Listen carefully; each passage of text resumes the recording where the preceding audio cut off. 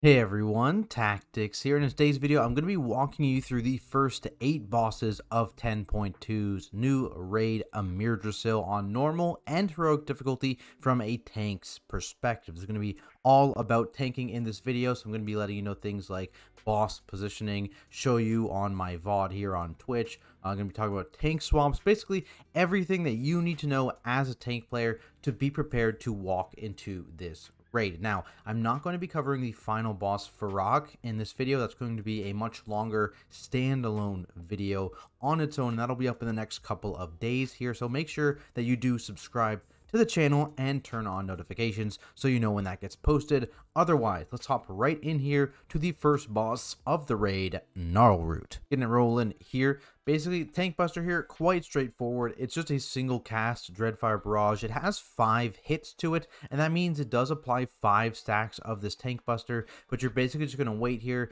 let the entire cast finish, and then swap after that essentially a swap on one, but again, noting that you're going to have five of these stacks here, as you can see on my UI here, tracking my Code Tanks debuffs. And know that these stacks do increase your Shadow Flame damage taken. In total, it's going to be, I believe, 80%, 80% Shadow Flame damage taken.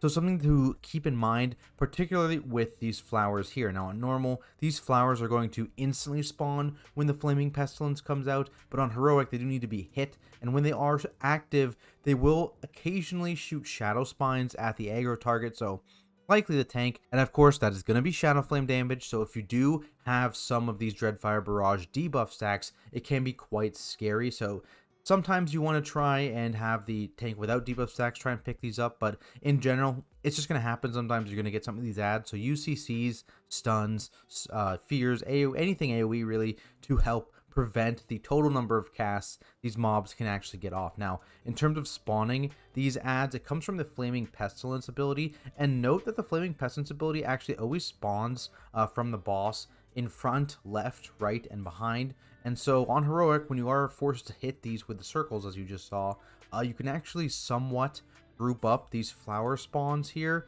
Uh, you see it spawns in 10 seconds. Let's fast forward a bit. If you were actually, actually it already spawned, there it is.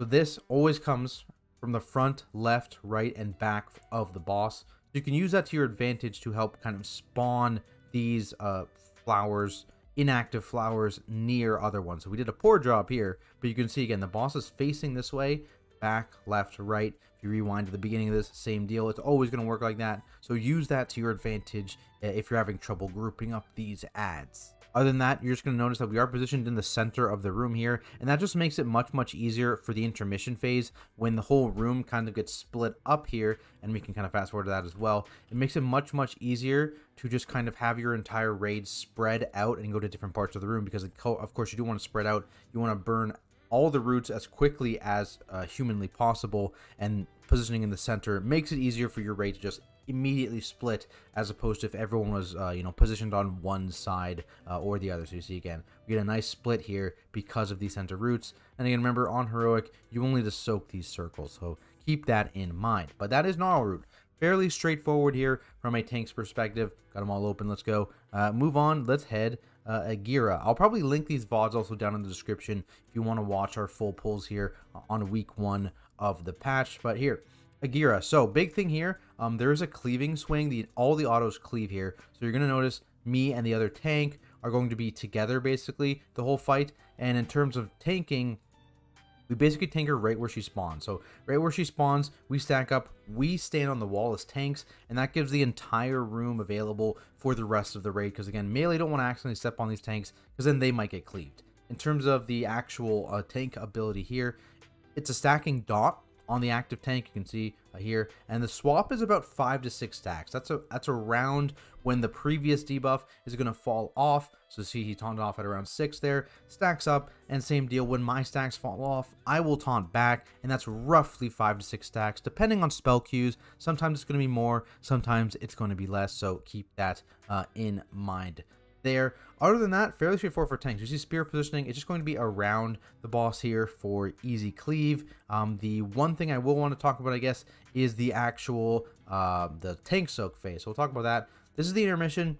You can leave, and, and at this point, because the cleaving has stopped, the boss just channels, you can help soak. Just make sure you get back to this spot uh, right away. Next phase, I believe this is going to be, what did we do here? What did we do here? Is this the charge phase? Okay, so this is the charge phase. So how this charge works is it always baits to the furthest target and then back to the next furthest target again. So there's a couple ways to actually deal with this. One way uh, that I believe we do, so we have someone bait it. Yeah, there it is. So we have, you know, a range back here is baiting the leap. And then because the tanks are the next furthest target away, the boss is then going to leap right back to the tanks again.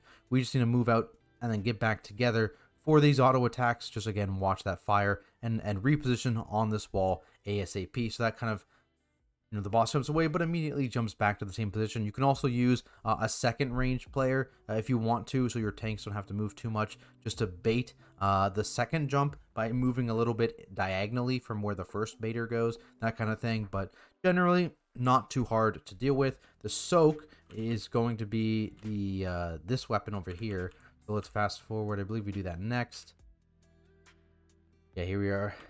So yeah, so if you're if you're wondering, when you soak the middle one, that's what gives you the leap. When you soak this right one, that gives you the tank soak.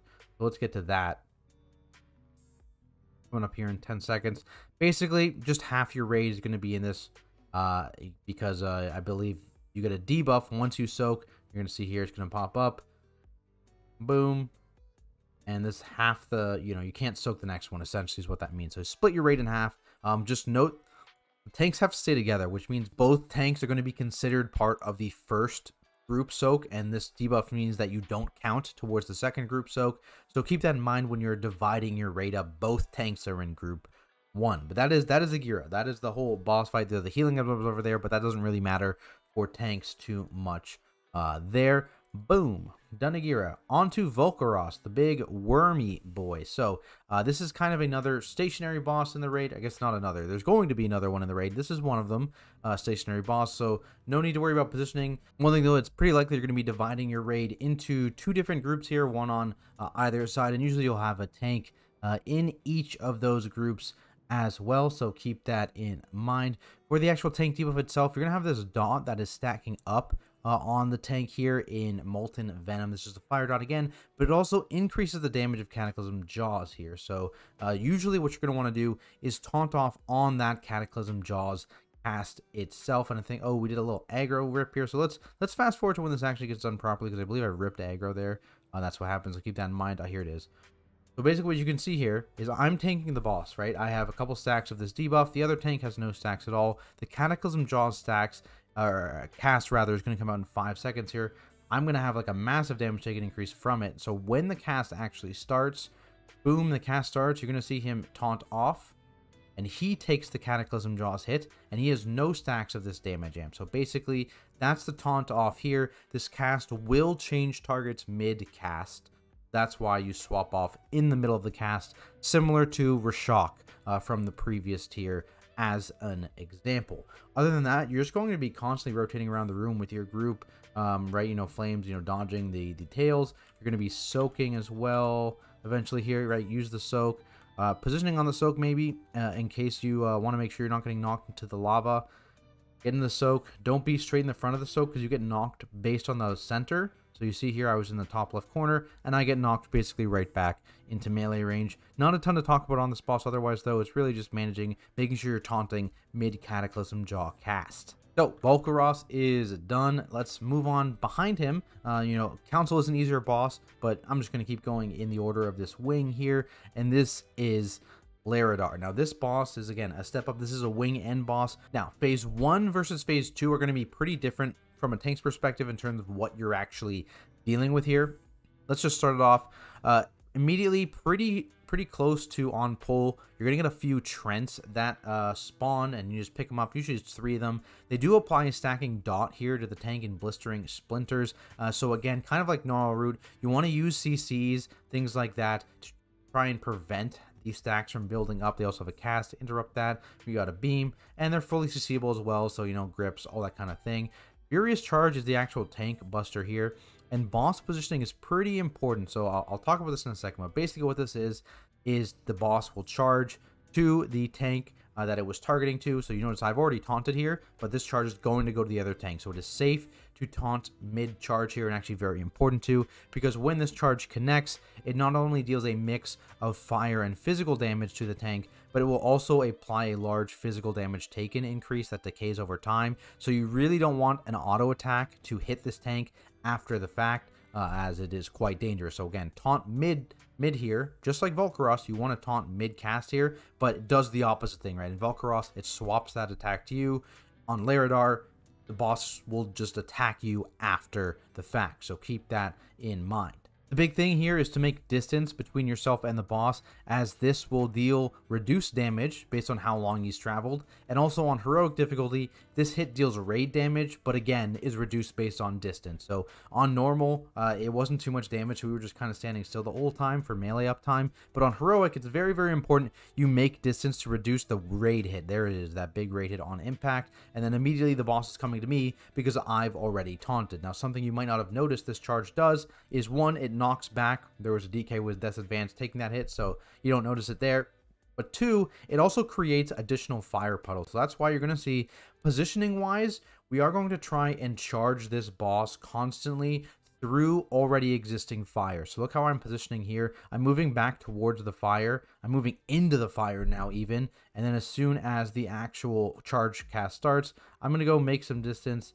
I lied. I Oh, this was the one I tested how much damage we were taking. This is why you have to move, by the way. We were testing how much damage we took if we didn't move. It's a lot, in case you were curious, so don't do that. Instead, uh, let's fast forward to the next charge where we actually do the thing that I'm talking about. Uh, again, you can see positioning here. Charge is going to come out shortly. We are we do end up clearing all this fire. So again, I guess I guess I'm I'm just a liar. Uh, turns out, um, but yeah, you can clear the fire. So I guess sometimes that that disappears. Notably, after this third charge, you do want to tank relatively close to the charred brambles like friendly mob because this allows your melee to continue to hit the boss when you are standing in this safe tree here. So you see I'm right beside it. Good spot to be in. You know there's not going to be a charge. There's three charges per phase. Uh, so, you know, during this Raging Inferno, while you have to be in here, you are able to still hit the boss as a melee. He does do a charge almost immediately out of this. So keep that in mind. Again, going to the edge, and you're going to see now, I make a little bit more distance. And you can see where he charged, there is some passive fire. So that's why, ideally, again, you're charging him through as much already existing fire as possible, just to maximize how much uh, actual space you have. And again, after he does that big AoE, he's going to kind of go back to what he did initially, spawn some Treants, uh, rotate through charges, and the same thing kind of repeats here until you push the boss uh, into P2. I believe it's 40% health is when that actually starts. Again, just rinse and repeating here. I believe it's around here, right? There it is. There it is. So this is the transition here into phase two. In this, the charge is gone. It is completely deleted. Now you have to deal with a new tank ability uh, in Smoldering Backdraft, as you can see here frontal. It is now a frontal cone attack. So again, just making sure you're pointing this away from your friends as I'm doing here. This is a big fire hit. And then it applies a dot to you. I believe it's 18 seconds on normal and 30 seconds here on heroic. So very long dot. And you see I'm going to have this little gray circle around myself. And basically what this is, is this is a 100% healing reduction. So you cannot heal in any way. Um, but, and you will also be taking fire damage throughout this duration as well. But basically, if you ever have any allies in this area, you will deal a bit of damage to them and leech health back to yourself. So basically, you're going to see, like, as you need healing, I'm just going to dip on top of the raid, stand on my friends, heal myself back up. Just try not to murder any of your friends in the process, because uh, that would be that would be not ideal for sure. And on heroic, especially, the duration of this is is pretty long, right? 30 seconds. You can see here, boom. The other thing actually got the debuff before mine had expired. So something to keep in mind, you are going to have to tank a few hits of the boss with your healing reduction on, on Heroic's not too bad. It's only going to be like 3 seconds, so it's not a big deal, it's not a massive overlap, but still something to keep in mind, both tanks have that debuff for a few seconds uh, initially, so just be aware of that, and as you see, just slowly run out of space here, and it's just a race to kill the boss. Alright, Larodar, done. Taking a step back down, Council is a bit easier, uh, the only tankable mob here is Urctos, so you're basically just going to try and position him such that you're always going to be able to cleave onto one of Pip or Aerwynn. Uh, see here, initially on pole, you can kind of be in the middle and get decent cleave on both, which is nice. Um, but otherwise, just, you know, maybe bounce back and forth between who you're taking on top of just watching their health, right? Because all three of these do need to die at the same time. So you need to be, you know, effectively cleaving. You see here, like as an example, Pip is super low. So at, at some point we need to swap and make sure we're tanking Urctos on top of Aerwynn instead. That kind of deal. Um, the main tank buster here is Agonizing Claws. So it's going to be coming up uh, in just a second here. So that is the amount of damage it looks like when you accidentally take two stacks here. So notably, basically you're taunting off at one here. It's a big physical hit that has a big amp as well. So you can obviously survive a double hit there as you saw, but it's not ideal. Uh, and so basically it's a frontal on heroic. On normal, it's just a direct attack, so no need to worry about frontals. But as you can see here, positioning wise, the raid is all on one half and the two tanks are kind of pointing it uh, over here, uh, just away from everyone else because it is a frontal, of course. And again, you'll want to be taunting off on every individual cast of that agonizing claws. And then the other thing tanks need to deal with is this barreling charge, which is just targeted uh, at the active tank, uh, but needs to actually be soaked by the rest of the raid at some point, as it does deal party damage at the end when it hits, uh, you know, the, a wall or whatever the heck it's hitting at. Also note that on heroic, this applies a debuff to the player's hit, so you can only have half your raid soaking each charge. They have to alternate basically. They can't soak every charge. But notably, tanks can actually soak every charge because this charge deals physical damage. Uh, and also uh, the amp is not too high and the charge damage baseline is not too high. So as a tank player, to help mitigate that raid damage, you can actually be in every soak. But if you're worried about your health too much, don't worry. You don't need to do that. It's just something that you can do as a little bit of advantage. Now, uh, in terms of ordering of the abilities, you see here, there hasn't been a frontal in a long time. He's going to do his ultimate, uh, and then he's going to go back. And basically, the timing on this seems to be almost in sets of four. So basically, what happens is he's going to go two times agonizing claws back to back. So that's why you, you know, first tank takes it, taunt, second tank takes it. You're going to see that come up here soon, actually, in just a few seconds. So boom, there's the first one. I'm going to taunt, moving away from everyone else. There's the second one. Boom. There's going to be a charge next following this shortly after. And then the same thing's going to happen immediately after this charge. It's going to go agonizing claws frontal, agonizing claws frontal, and then a quick charge right away again. Uh, same deal. I think I still have, yeah, I still have it. So again, keep it on. You can live two sacks. It's not the end of the world, but uh, you know, it does hurt obviously. So if you can taunt, uh, do so for sure. Anyways, next charge is going to come out, and then you're going to notice there's a pretty significant break before anything actually happens. That seems to happen the entire fight. So it almost happens in like sets of four frontals and two charges, and then you get a bit of a breather to reposition the boss. So keep that in mind. Again, you want to position the boss close to something else to cleave, but you don't want to be moving the boss all around uh, with the frontal, right? So you have some decent, a decent gap uh, to move the boss around between certain frontals sometimes, so keep that in mind. This is the other thing tanks need to worry about. Whenever Aerwynn starts this constricting um, thicket, I believe it's called cast, you just need to make sure that you're aiming the next charge here right through Aerwynn, uh, just so this gets interrupted. Other than that, you're just kind of aiming the charge in a place where people can actually get to to soak it. So sometimes constantly pointing it outside to the outer edge may not be the best idea. You may want to point it towards the middle a little bit more, uh, just a little bit more, not fully towards the middle, so that, you know, if range want to get in, they can, but they're not going to get shot through them, that kind of thing, just like this, right? And melee can easily step into it as well. But that is Council. Nymue. So this is our other stationary boss here. Uh, let's go. This boss doesn't melee. Instead, they're just going to spam a blast at the tank, and that does a mix of both physical and nature damage, so keep that in mind. Your taunt off here is going to be on Weaver's Burden. It's going to be coming in just a second here, and basically, it's just a 12-yard explosion around the tank, so obviously the tank needs to get out of melee. That's all it is on normal. Here it comes, boom. Weaver's Burden, you can see the circle around the tank over there, um, but, you know, there's a little spoiler on Heroic this applies to multiple players, not just the active tank. It'll never pick the inactive tank, but it'll apply to a couple other players. Uh, it'll also explode. Uh, when it explodes, it also drops a flower of area denial on the ground. And also, it makes you take 100% increase in nature damage for 20 seconds. So, uh, much more impactful of a tank swap on heroic compared to normal. Uh, I can maybe fast forward and kind of show you what it looks like uh, from the other end here as a paladin on the other side. There's the Weaver's Burden. I'm going to walk out a bit with it. Boom, I've got it. Taking a step back, step back, creating some space. Dropping the flower there. And as you can see, a flower is starting to bloom. Up here, there's going to be area denial, and all the stuff that does nature damage on, on this fight that you're not usually concerned with, you're now taking double. Um, that does not include, luckily, passing over these lines, because you are also debuffed with the flower thing uh, once you, uh, you know, drop this tank debuff, so you're free to kind of run, uh, kind of spam healing myself there, uh, and getting back up to the front here. And you'll notice the next Weaver's Burden just went out, and there's a few things. One, um, I still have 8 seconds of my tank debuff left, so there's a couple options here.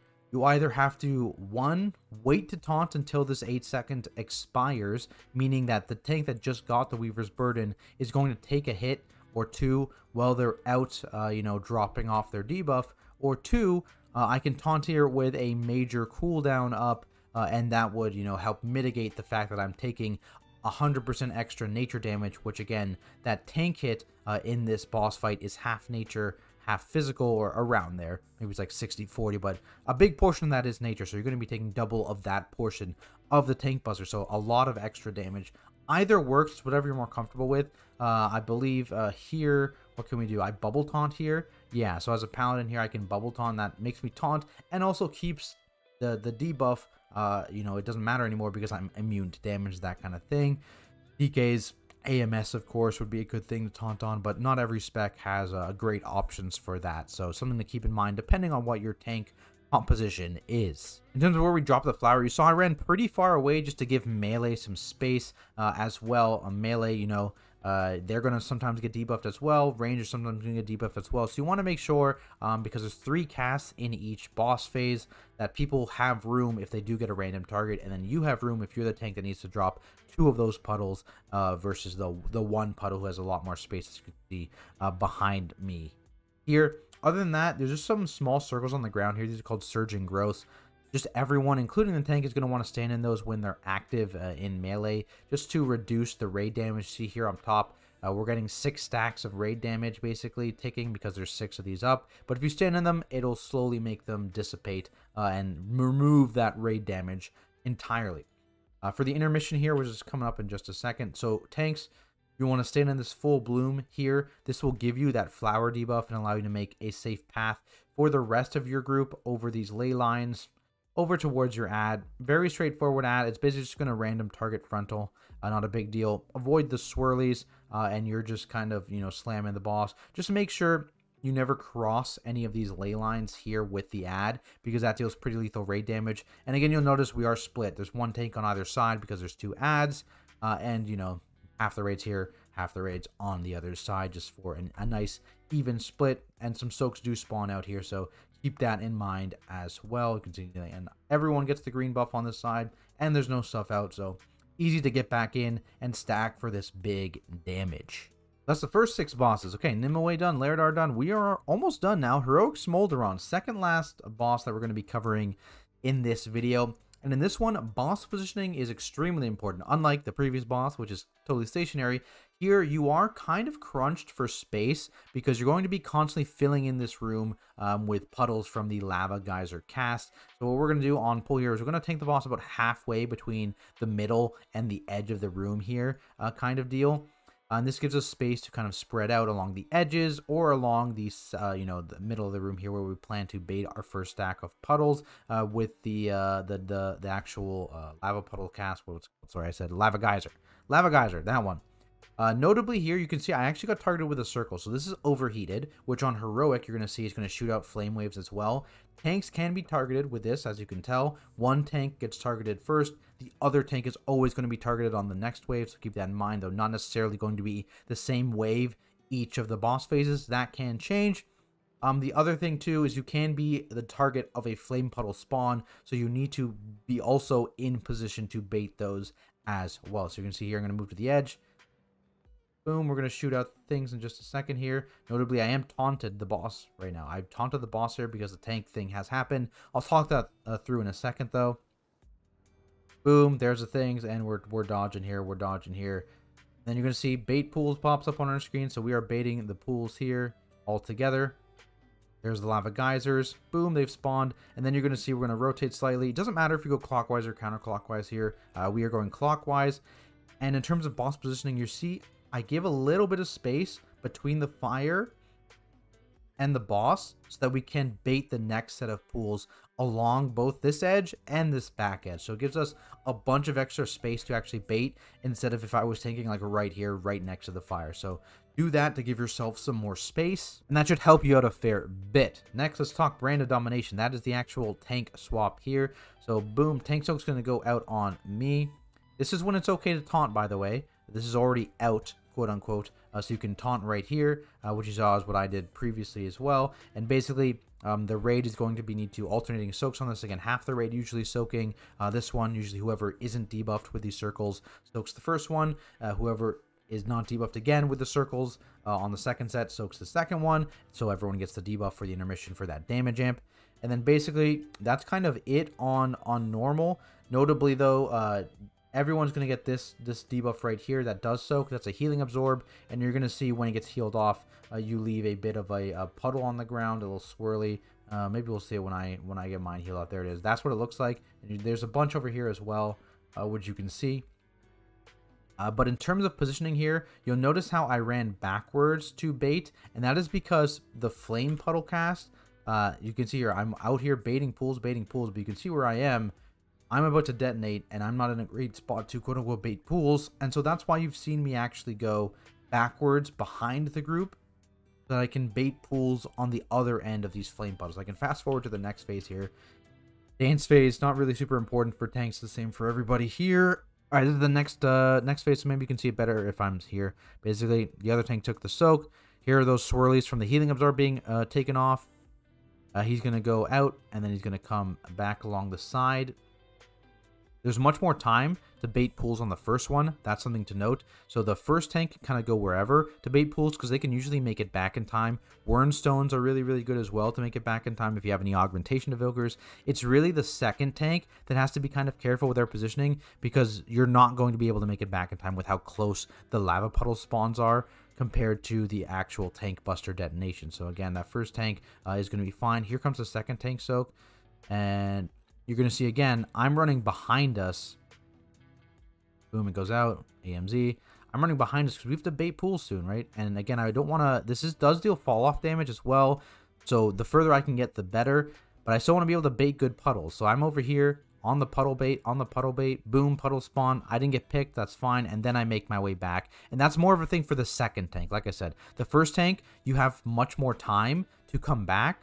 Uh, so keep that in mind. The second tank has much less, and so that's why I send it over there, especially as a paladin who's not super mobile. Again, if I had a Wernstone, I could probably have just Wernstone back and, and baited with the rest of the group, but, uh, you know, depends on, you know, whether you have a Wernstone available and how much actual uh, mobility your spec has. Paladin, not great. I use my mobility basically to get out of the group, essentially that's pretty much it for a tank on Smolderon. Really fun fight, by the way. Really enjoyed. Uh, and that brings us to the last boss we're going to be covering, because again, Fyrakk, going to put an entirely individual video for that boss. It's going to be a full-on guide too. Um, but let's look at Tindral. This has another kind of duo of tank things to manage here. So yet again, stacking Fire Dot on the tanks. This one is about a 9 to 10 stacker, so around 9 to 10 stacks is when you're going to taunt, and that's kind of when yours falls off as well. And the other thing to worry about here is you can see the mushroom. So in about 10 seconds here, you're going to get the mushrooms. And so on normal, three of these spawn. On heroic, four of them spawn. And basically they just spawn around the boss. Uh, and a tank has to soak these or they deal big raid damage. And you do need to alternate which tank is soaking because boom, you see I get a little short three second, I think it's like a 500% damage amp. So basically you can't have one tank soak them all. You need to alternate. So just assign one tank to soak even mushrooms one tank to soak odd mushrooms here, and they will spawn on the four corners of the boss. So you know now the last one's going to spawn over there because the other's three corners were already taken, and just alternate there so your debuff falls off. Otherwise, you see we're just kind of moving around as a group to avoid these flame beams, avoid these fire puddles from the Dispel. Uh, and again, on Heroic, there was two of these guys, uh, maybe more actually, I can't remember exactly, maybe three. But you're just kind of stepping around here, dodging these beams and grouping up. Positioning wise, it's not too important to use space on your first two platforms because you have literally so much space. It's crazy. You do want to be relatively close to your ranged um, just so they can come in for these vines and then move back out um, for the actual fiery pools. Uh, and again, you want to kill these vines relatively quickly so that those mushrooms aren't on top of players uh, you know, when they're spawning. So make sure you're breaking out those vines. ASAP. That is the Boomkin phase, though. You can move forward to the tree phase as well here. There it is. Dragon riding. Boom. Here it is, supernovaing. Where basically, uh, this those beams are no longer here. Same deal, positioning not super, super important on this platform because it's so big. Um, but the main thing you need to worry about is the seeds cast coming up in 20 seconds here. So basically, this is only on heroic, by the way, not on normal. It's going to spawn a bunch of seeds, and these deal uh, damage when you take them and apply a vulnerability debuff as well. Uh, and so soaking a bunch of these, if you're not the active tank, can be very, very helpful um, because, you know, you're pretty durable. You can take a lot of these soaks. Also, alternating immunities, of course, on these soaks as well. Uh, that can help uh, on top of that. Just make sure you get all those seed soaks because if you don't soak the seeds in time, they turn into trees and do a bunch of raid damage. So that's that's a, a big thing to deal with. Then when you finally get to the flash platform, ah, here we go. Perfect timing there with this one. This is where you're going to need to be a bit more careful with your space, just because this phase is definitely the longest uh, of them. So you see here, we're going to initially move towards an edge. I think we lost threat there, actually. That's crazy. I'm uh, going to be moving a little bit towards the edge here, uh, just for dispels, uh, again, giving them space. So we have actual space now. They're grouping up. Again, the mass dispel, I think we missed one. And because we were a little slow on this, uh, that that that just meant that we got these mushrooms in the actual puddles, which again, like I said in the beginning, you want to give a little bit more space than we gave in this, just because it can be tough for the tanks to actually jump into the middle of the fire to soak their mushrooms. So uh, keep that in mind for sure. Um, otherwise, though, again, just rotating around the edge of the room here with a range tending to be on the outside for that mass dispel to get rid of their debuffs. Uh, and you're just rotating around, you know, avoiding the beams when they come out here, uh, you know, the inactive tank running out to help with the seeds because that both of these now happen on this phase. Seeds are going to happen right after this as well. So you're doing everything basically in this phase, right? Soaking the mushrooms during these beams. You gotta you gotta watch very very careful uh, to make sure that you're getting all of these soaks. Uh, while also not getting murdered by these other things. There's a seed, so lots going on in this phase. Basically bringing it all together. Help as much as you can with this stuff uh, as a tank because, uh, you know, you're tankier. It can be uh, a lot easier for you to do it compared to someone else. But there we have it, guys. These are my tank tips for almost every boss on normal and heroic in Amirdrassil. Hopefully it helps you guys out, and if it does, be sure to leave a like and subscribe for more content like it, including Mythic raid guides, like I mentioned, that heroic Fyrakk guide coming out very, very soon, and even Mythic Plus walkthroughs to help you get your portals, uh, you know, your Keystone Hero achievement, all that good stuff. If you have any questions, feel free to drop those down in the comments below. And also be sure to check out my Twitch stream at Tactyks, where I stream both my Mythic Raid progression and my Mythic Plus pushing on various tank specs. Before finishing up, I do have to give a massive thank you to my Patreon supporters. It really does mean a lot. Otherwise, thanks everyone so much for watching, and I'll see you all in the next video.